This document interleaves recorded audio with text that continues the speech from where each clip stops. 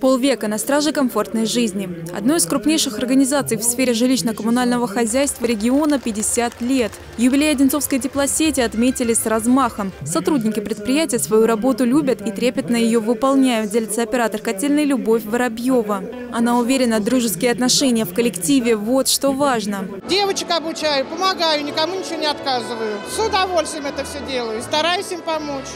И всегда говорю, девчонки, хорошая работа, работайте. В этот день Любовь Воробьева, как и ее коллеги, получили заслуженные награды за вклад в развитие Одинцовской теплосети. Глава муниципалитета Андрей Иванов подчеркнул, что предприятие успешно модернизировали на протяжении последних восьми лет. На объектах внедрялась новая техника. Совершенствовалась система автоматического регулирования и управления технологическими процессами. Появилась единая аварийная диспетчерская служба. Э, в которой работает на сегодня в общей сложности 20 человек в 4 смены.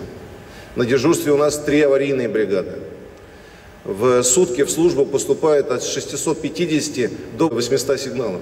940 домов, общая площадь обслуживания около 3 миллионов квадратных метров. Это большая ответственность и нелегкая работа, которую ежедневно осуществляют специалисты Одинцовской теплосети. Каждый ваш день, каждый ваш трудовой э, шаг – служат укреплению городского хозяйства, районного хозяйства, строятся новые сети, э, строятся новые станции э, э, подготовки питьевой воды.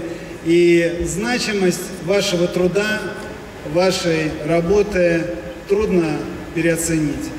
123 лучших специалиста получили награды муниципального и областного уровня. Все эти люди ежедневно выходят на объекты, чтобы сделать жизнь жителей Одинцовского округа комфортной и безопасной.